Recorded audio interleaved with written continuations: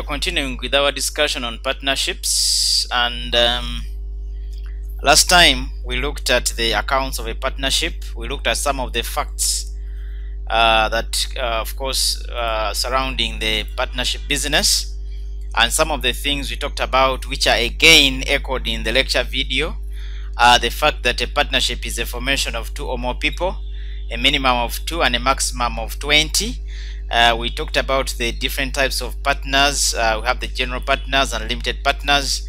Again this is covered in the lecture video. We talked about some of the contents of a partnership deed. And again we mentioned that if there is uh, no partnership deed or in the absence of the partnership deed then the law has already been framed for you.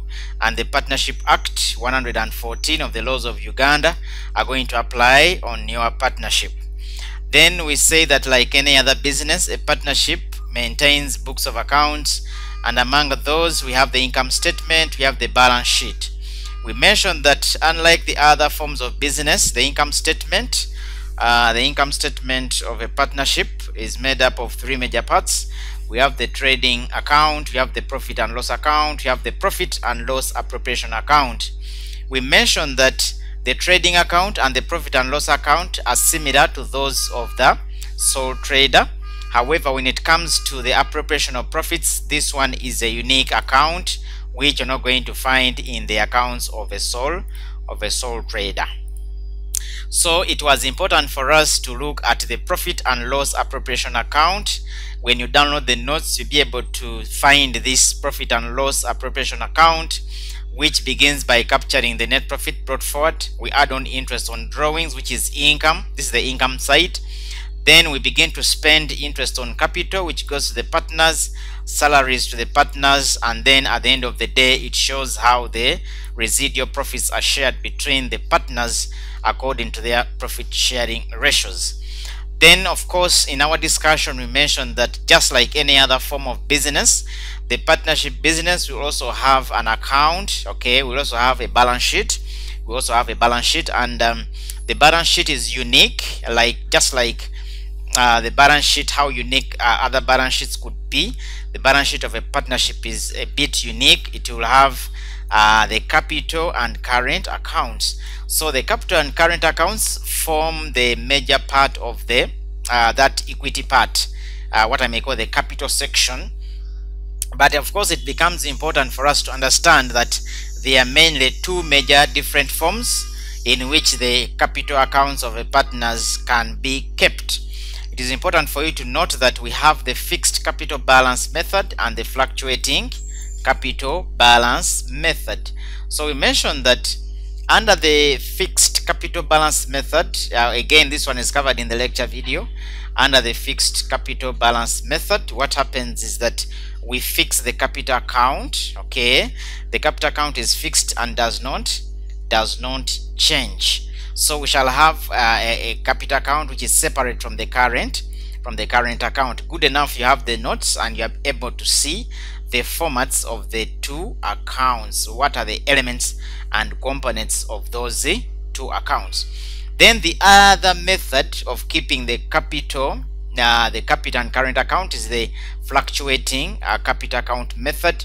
And under this we don't distinguish between the current and capital. We keep both the capital balances and the current account balances of the partners together in one T account good enough you have already downloaded the notes and on your page number four you are in position to see the format of the fluctuating capital account. Um, so of course in our discussion we talk about the income statement of the partnership which is just like any other income statement. We begin by recognizing the sales then we bring in the cost of sales the gross profit we less the expenses and then the appropriation of profits comes in just like we have just discussed in the previous page. Um, when it comes to the balance sheet, the balance sheet of the um, uh, of the partnership is not different from any other balance sheet. However, its uniqueness is right here on the presentation of the equity or the capital uh, section of the balance sheet. It has to make a distinction between the capital and the current accounts where the fixed capital method is used but if it's fluctuating then we, we definitely combine those two and present only one account on the capital. So, of course, we had to discuss a number of things and we looked at um, how uh, the accounts are maintained. We looked at the journal entries and we were in position to uh, write uh, the income statement of a partnership. However, today we are going to look at the adjustments in a partnership. If the partnership changes, what is going to happen? We need to bring uh, forward this discussion because it is highly examinable and I want us to discuss this today. So we are saying that the partnership can actually change in its formation and structure under the following circumstances. One, we have on retirement or death of a partner. Two, we have admission of a new partner. Three, we have formation of a partnership, formation of a partnership from two or more traders. And four, we have dissolution of a partnership. Now, under these circumstances, there's going to be a change in the uh, nature and the formation structure of our partnership. So what's going to happen? So briefly, we are saying, of course, you have the notes, but we are just emphasizing here. We are saying that on retirement or death of a partner, what's going to happen is that we are we are going to do some kind of valuation. We are going to do some kind of valuation of the assets, and then the goodwill uh, arising is also going to be put into consideration. So we are saying that if there is death or retirement of a partner, the things that we do include one, revaluation of our assets. We revalue the assets and then we shall see whether there is a gain or loss on revaluation. Number two, we shall also bring uh, into goodwill. We shall bring in goodwill. However, this may be maintained on a temporary basis as we are going uh, we are going to see. Again, that's the same thing that's going to happen when we have uh, admission of a new partner we shall do some revaluation and also we shall also consider the evaluation of, of, goodwill. Um, when it comes to dissolution this is a different thing but we are going to see what exactly happens. So the notes that you have on your um, on your accounts that, that the, the ones that you have downloaded uh, discuss in detail the goodwill and revaluation of assets. So when it comes to goodwill goodwill definitely we all know this is an intangible asset it's a non-current asset and it arises where the fair value of your net assets exceed the book values of the of the net assets. The fair value of the net uh, the fair value of the net assets exceeds the book value of the net assets. In brief or in summary the fair value of your assets exceed or the market value of your assets exceed the book values meaning that your assets are highly valued in the market than what is being depicted in the books of accounts.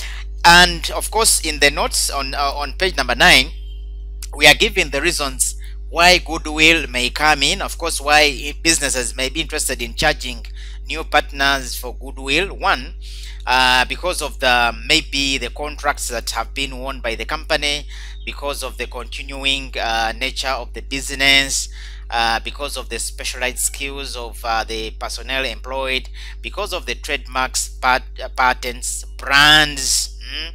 Today we have what we call influencers. I think we have heard of now because of social media. I think we are going to update and include being an influencer.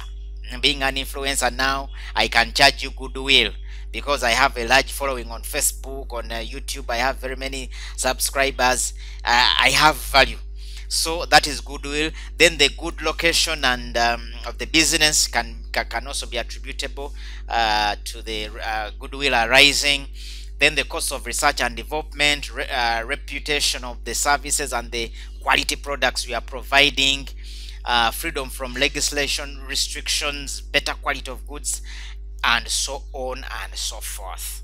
So as we have mentioned the goodwill is going to arise on admission of a partner uh, a new one retirement and death of a partner dissolution of uh, our partnership and also change in the profit and loss sharing ratios. All these ones you are given you have the discussions running on the handouts on the notes that have been uploaded onto your account. Now um, what is very very important are the three major methods under which goodwill is treated in the books of a partnership. These are highly examinable. One we have what we call the premium method. We have what we call the revaluation method. We also have what we call the memorandum method. So these are the two major methods in which goodwill is maintained uh, in the books of accounts of a partnership. Now under the premium method. We are saying that the new partner brings cash in addition to his capital contribution. And the excess of cash being the premium for goodwill. So on top of the 7 million you're supposed to contribute maybe you're going to bring in 10 million then the excess of the 3 million is going to be a payment of your goodwill to this new business which you are joining.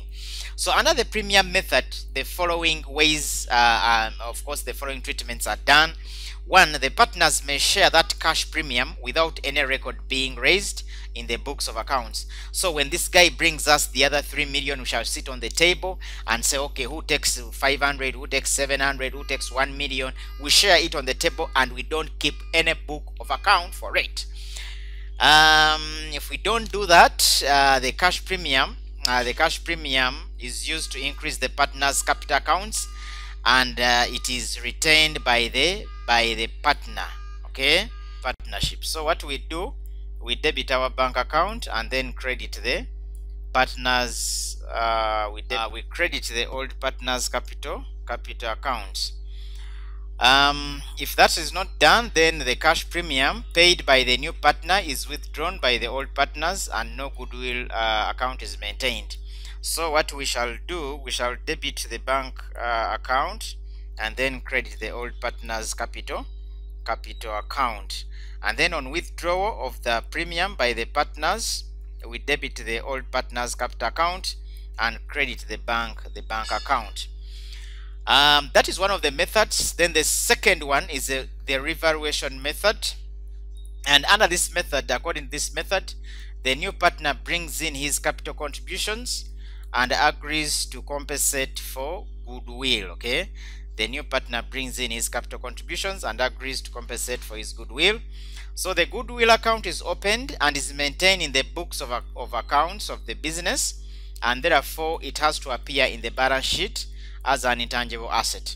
So this goodwill is shared by the old existing partners and increases their capital account. So basically the accounting entries would be to debit the goodwill account and then credit the old partners capital accounts using the profit and loss sharing ratios.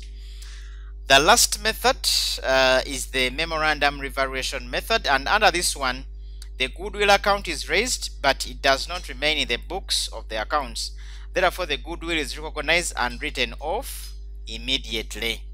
Okay, it is recognized and written off immediately. So we shall debit the goodwill account and then credit the old partners capital accounts using the old profit and loss sharing ratios. So when we are writing it off, of course, we shall reverse. We debit the partner's capital accounts and credit the goodwill account. So those are the three major methods uh, in which the goodwill is treated. Of course, are going to be looking at these methods in the different numbers are going to do, and then it will make uh, more sense uh, in the numbers that we are going to attempt. Again, as we have mentioned, um, when there is a change in the partnership, we revalue the assets, okay? and this may happen of course when there is admission of a new partner when there is change in profit and loss sharing ratios when there is retirement of a partner and death of the of the partner so the difference uh, the revaluation is going to be calculated okay this is going to be calculated uh, as the new revalued amount new revalued amount or I can say the um, the gain and loss. The gain or loss on revaluation we shall get the new revalued amount minus the net book value of the asset okay the new revalued amount minus the net book value. So we are saying that revaluation is the difference between the current market values of our assets and their what? And their book values. And this is shared between the partners in their profit and loss sharing ratio. So it is as simple as simple as that. The accounting entries are given uh, when you look at your pages 12 spilling over to page number 13 uh, when you look at the accounting entries uh, when assets when we, we revalue and the assets values increase we shall debit the asset account and credit the revaluation account with the increase in the value. When there is a reduction in the asset's value this one in accounting we shall refer to this as an impairment loss okay? When your assets lose value it uh, come it amounts to impairment loss. So we debit the revaluation account and credit the asset account because the asset has decreased in what? In value when there is an increase in liabilities, we can also revalue the liabilities and if we get any increase, we debit the revaluation account, credit the liabilities account with the increase in value. Again, we could revalue and the value of the liabilities decrease. So if there is a decrease in liabilities, we debit the liabilities account, credit the revaluation account with the reduction in the value. So uh, in case of a profit on revaluation, we debit the revaluation account, credit the capital account with a profit on revaluation. And in case you have a loss on revaluation, we shall debit the capital account and credit the revaluation account. In a nutshell, this would be the revaluation account, and I know you have already looked at it. Uh, the format of the revaluation account as you can see uh, decreases in assets on the debit together with the increases in liabilities. Then increases in assets and, and the credit together with the decreases in liabilities on revaluation. The loss uh, the loss on revaluation which is shared among the partners is on the credit side whereas the profit on revaluation is on the debit side and again is shared among the partners so we are going to support this foregoing discussion with um, June, uh, June 2019. Uh, we have, um, let me try to get this. Okay. Uh, June 2019, okay, May 2019, question number six. Question number six is going to support our foregoing discussion. Abilinga, Abilinga, Boni, and Cherot. So I want you to read through uh, our May 2019 question 6 up to the end there and see what we are required to do.